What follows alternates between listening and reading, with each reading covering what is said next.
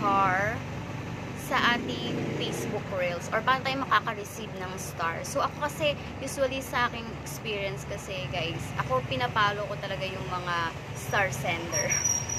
Pero, at least naman, pinapalo ko sila at sinusupport ko sila, ini-engage ko sila. So, yun yung way nila sa pagpa, ah, pag-support naman sa akin is binibigyan nila ako ng star. So, nakaka-receive ako ng star sa kanila. So, um, give and take lang siguro. Pero kasi hindi ko naman sila pinilit na binigyan ako ng star.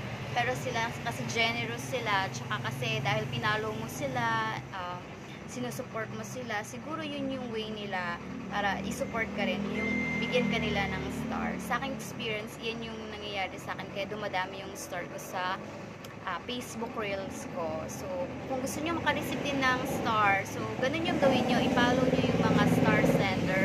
I-support nyo sila, panoorin nyo yung videos nila.